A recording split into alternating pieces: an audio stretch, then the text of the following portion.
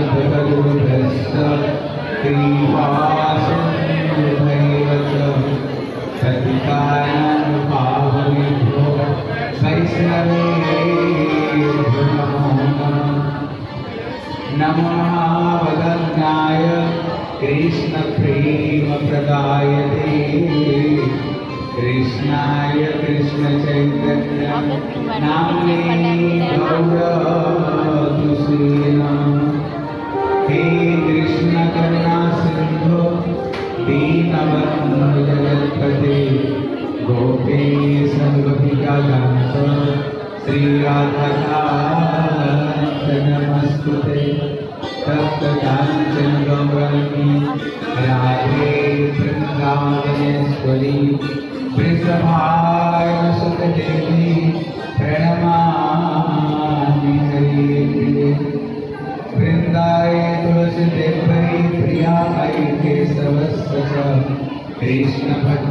प्रदेवी नमो चाची तमालिदेवं करुणानिदानं तमालवर्णं सुहृदावतारम् अपार संसार समुद्र सेतुं भजामहि भागवतं स्वरूपम्।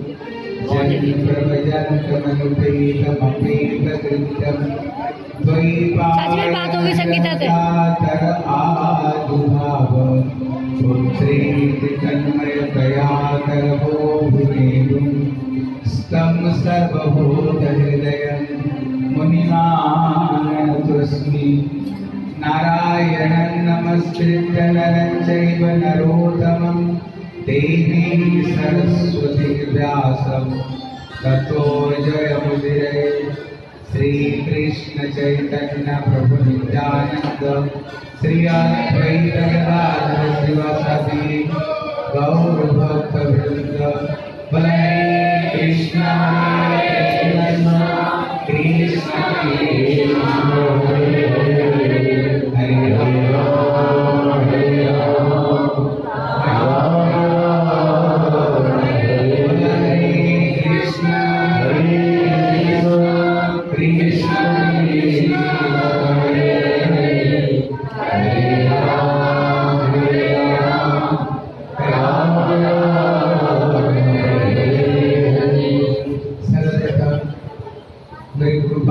गुरुपाद नितलीला प्रविष्णु विष्णुपाद अष्टोत्तर सतश्री श्री श्रीमाद भक्ति श्री रूप सिद्धांत गोस्वामी महाराज के चरणों कमल में अनंत कोटि साष्टांग दंडवत प्रणाम करता हूँ।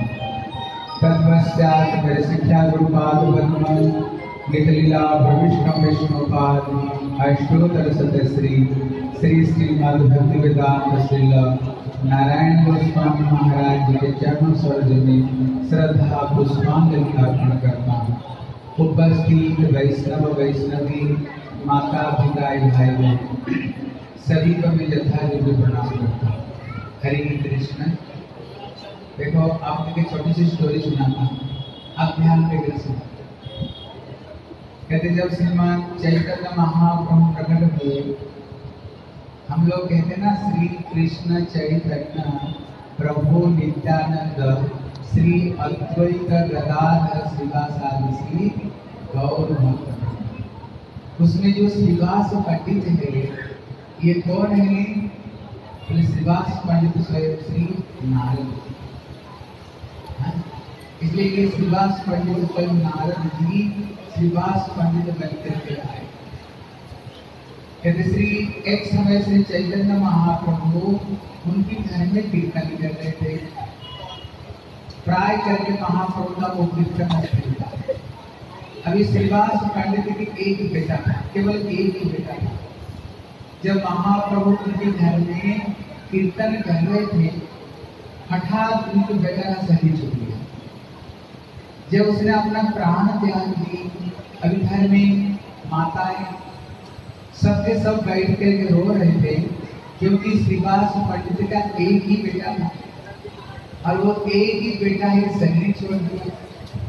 अभी घर में जितने माताएँ बैठ करके रो रही थी। रो रही थी तो अभी श्रीवास पंडित ने देखा, अंदर से कहीं रोने की आवाज़ आ रही इन्होंने कीर्तन को प्रणाम किया और उन्होंने घर में गई देखा उनका जो एक लौता जो बेटा था, उसने सर्विस छोड़ दिया।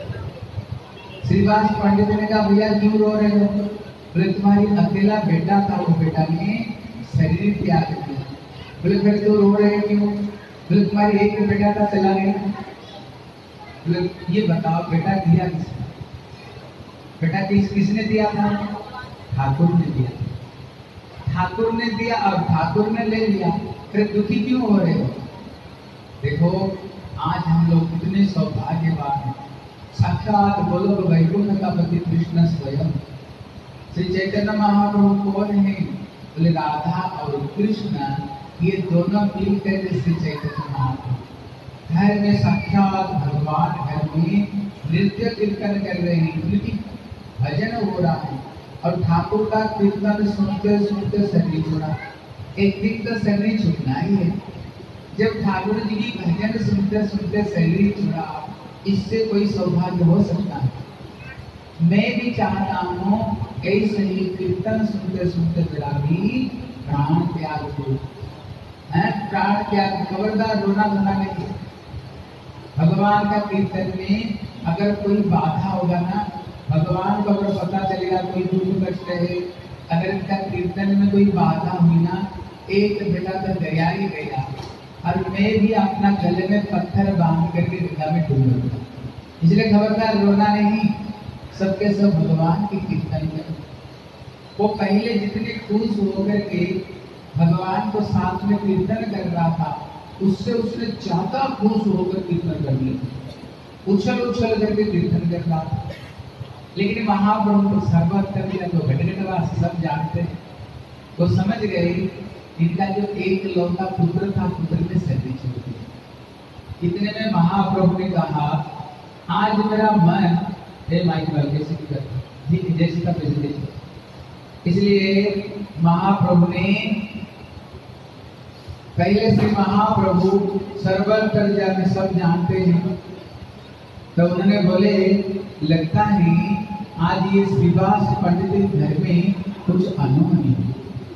इतना सुनते ही श्रीवास पंडित तो छलांग दे करके छलांग देकर नाचने लगते बोले, प्रभु, जहाँ पर आप साक्षात हो वैकुंठ पति जिस घर में नृत्य, कीर्तन, भजन कर रहे हैं, वहाँ पर कभी अमंगल हो सकता है। जहाँ पर आप स्वयं विद्यमान हो। इतने नहीं श्री अद्वैत आचार्य कौन? सदाशिव। बोले, प्रभु इसका जो एक लौता संतान था ना उसने शरीर छोड़ दिया। इतना सुनते ही महाप्रभु तो रोने लगे बोले देखो मेरे प्रीति के लिए मेरे सुख के लिए जिसने बेटा का हाँ, प्राण त्याग को भी दुख को दुख नहीं मान रहा और मेरे साथ में कीर्तन करना है। बोले चलो वहाँ पर चलो। गए। देखा उसको देख बेटा शरीर छोड़ा हुआ। ऊपर में हरे कृष्ण। उसको ऊपर में सफ़ेद कपड़े से ढके हुए थे। महाप्रभु वहाँ पर गए। उसकी छाती पर हाथ रखते ही उसने फिर द्वार जला तो महाप्रभु ने पूछा भैया तू कहाँ चला गया? प्रभु आपने जहाँ पर भेजा मैं वहीं पर गया। मैं तो अपनी आप को बड़े सौभाग्यवान मानता हूँ। आपकी भक्त के घर मेरा जन्म हुआ। बचपन से तुम्हारी कीर्तन कथा भजन सुनते रहा। और तुम्हारी भजन सुनते सुनते सुनते सुनते मैंने शरीर त्याग किया। प्रभु, इससे सौभाग्य कुछ हो सकता है। एक दिन तो संसार से सबको जाना है। कोई तो बोल नहीं सकता मैं चिरकाल ज़िंदा रहूँगा सबको एक दिन संसार त्याग देना। लेकिन तुम्हारी कथा, कीर्तन सुनते सुनते इसकी मृत्यु होती है। इसलिए प्रभु ने परम सौभाग्यवान हूँ आपने जहाँ भेजा, जितना दिन तक रखना था रखे, और जहाँ पर भेजा, वहीं पर चला फिर उन्होंने फिर दो बार उनका प्राण को त्याग किया फिर प्राण को त्याग की बोले, प्रभु, जहाँ पर हूँ, मैं बहुत आनंद पूर्वक हूँ। मेरे लिए कोई चिंता देखो, अगर भागवत कथा में भगवान की कथा हो रही है, एक दिन तो दुनिया से समझ जाना है।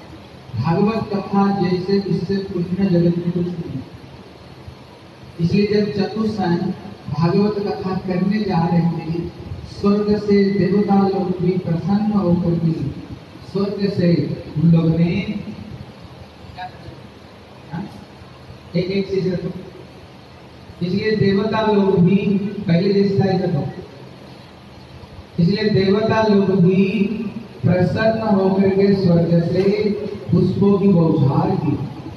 देवता लोग भी स्वर्ग से धुंध भी शंख नगड़ा बजाए और देवता लोग भी स्वर्ग से पुष्पों की बौछार करते हुए उन्होंने भी ये भागवत कथा की जयकार की श्रीमद भागवत कथा, वृंदावन की? अरे माइक वाले पहले था कैसे करो बार बार घुमाते इसलिए अगर भागवत कथा की इतने महत्व, भागवत कथा की इतने पुण्य ज- जिस स्थान पर ये भागवत कथा हो, वहाँ पर जितने सारे पवित्र नदी, जितने अयोध्या, मथुरा, माया, काशी, कांची अयोध्या सारे तीर्थ के वहीं निवास करते हैं। बोले, जहाँ पर ये श्रीमद भागवत कथा जहाँ पर हो, इसलिए गतकल राज को